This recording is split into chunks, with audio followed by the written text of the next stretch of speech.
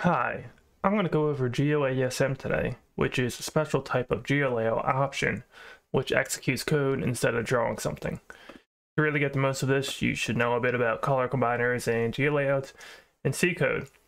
First, let's talk about how to make a geo GeoLayout with a GeoASM. First, we need a model and some form of structure. Here I have a cute little default cube and three of its children. The parent cube is going to have the child cubes directly parented to it. And then I want to put a GeoASM as a parent to the cube so this object is going to be the parent of all the models. And on the empty, you want to make sure you have GeoASM selected. Now to actually export this, you need to put another empty as the root.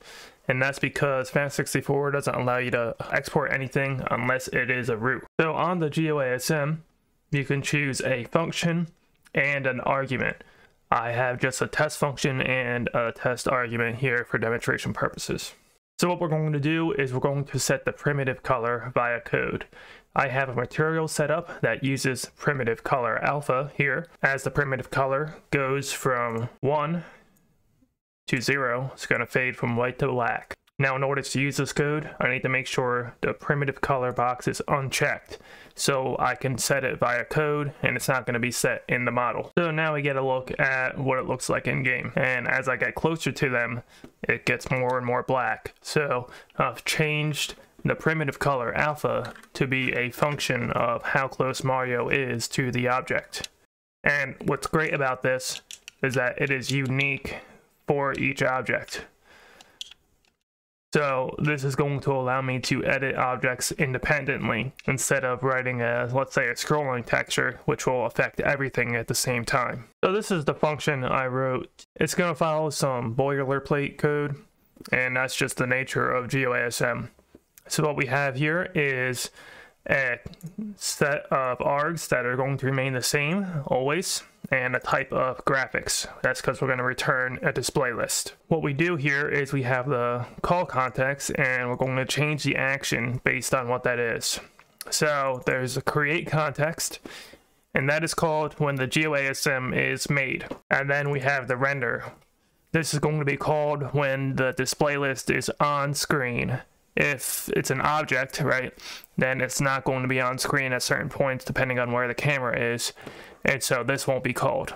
If it's part of a level, then this is always going to be called as long as the level is being drawn. So it means you're in that area. So what we can do is we can get the object via a global variable. Then we're going to alloc a display list. I'm going to use two display list commands. So I use a size of 2. Then I get the distance to Mario and I divide it by my parameter. And that's going to be the alpha I use. I set the primitive color to that. And then you're going to end the display list. It's very important that you do this. Finally, this is also something that people forget a lot you have to put the display list on a layer. I'm going to put it on layer 1 because my object is on layer 1. So how you're going to set the layer is you're going to set the node flags for your graph node to the layer number. You want to use this path to get to the flags and then you're going to want to set it to the layer and you want to shift it by 8. So if you notice the GeoASM is applied to the parent cube and the three child cubes. What if we wanted to just apply it to the child cubes? Well, what you're going to do is you're going to take this GeoASM and then you're going to parent it only to the children. So now we can see the parent has nothing in front of it, but the GeoASM is going to affect the children. Another thing we should do to be safe is set the material of the parent to something that sets the primitive color. When you call multiple objects in a row, the children are going to have the primitive color set by a code, and the parent is going to just inherit whatever is set uh, down the line. So if you draw the first parent, it's not going to have anything. Then you're going to draw the children, and they're going to set the prim color. And then when you draw the next parent, it's going to inherit the same prim color as the children. So you want to make sure if you're not inher inheriting the prim color from the GeoASM that you set it. So what you want to do is you want to make sure you click one, uh, this button. It's going to make it a single user. So it's going to have a unique material and then you're going to hit primitive color. And that's going to look like this. You can see the child cubes are dark and the parent cube is white. So with that intro out of the way, I'm going to go over a few more examples of what you can do with GeoASM, and it's mostly going to be code focused. So just uh, bear with me and try to read the code and pause the video if you really need to. I want to go over them quite kind of quickly. So this is the next type I want to go over, which is a GeoASM that edits the object.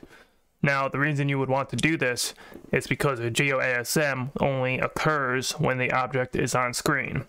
If you look at these three objects, they're rotating, but they're at different points in their rotation.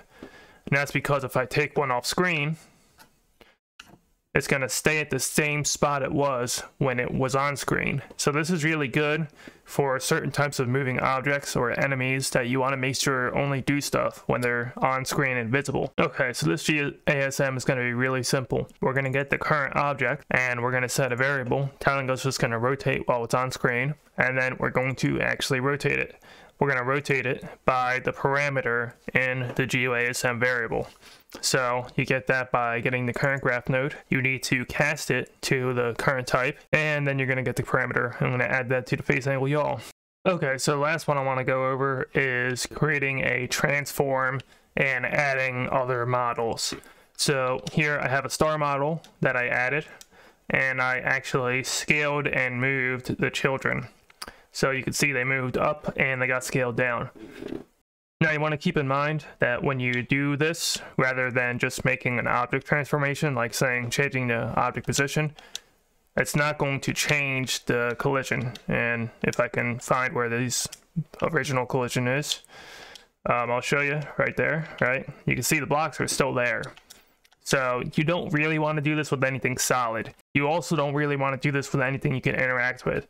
So the star is not really going to be good. It's really just for visuals. You know, if I wanted to say, put the star on the face of my cube, or if you wanted to reuse display lists, but you wanted to use a different one each time. For example, if I wanted to use a red flame, or if I wanted to use a blue flame on different objects, maybe you could set it via the parameter, where you could set it based on the state. It's also good for just dynamic transformations.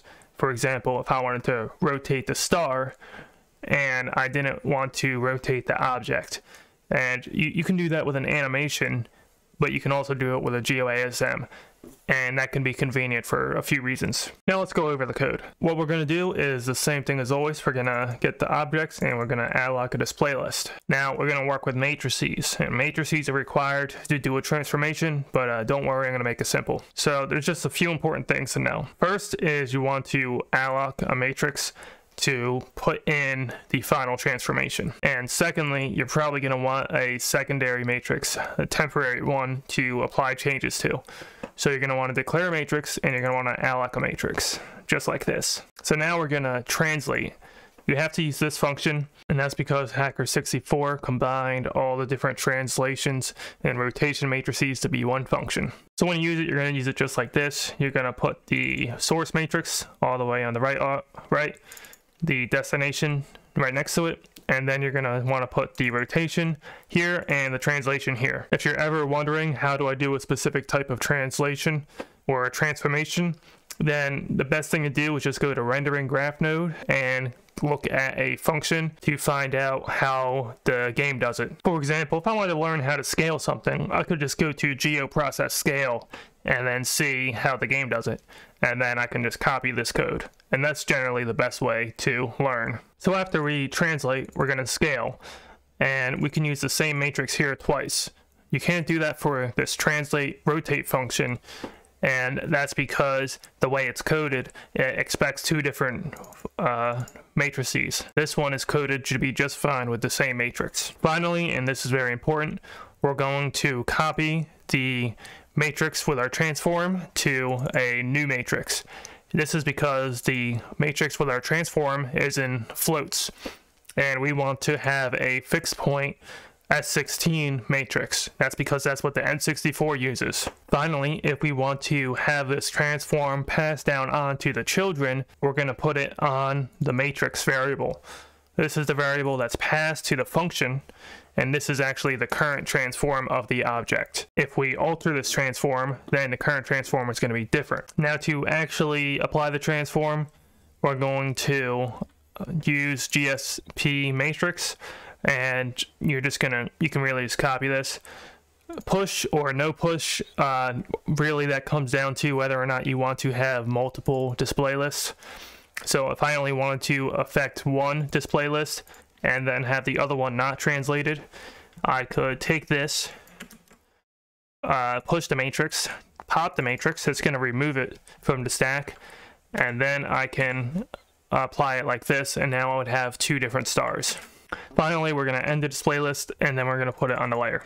And just for reference, if I were to actually do that transform, it would look like this. You can see the original star is up here with the transform, and the one that I removed the push from is down here. Anyway, that's all I got. So if you have any questions, leave them in the comments.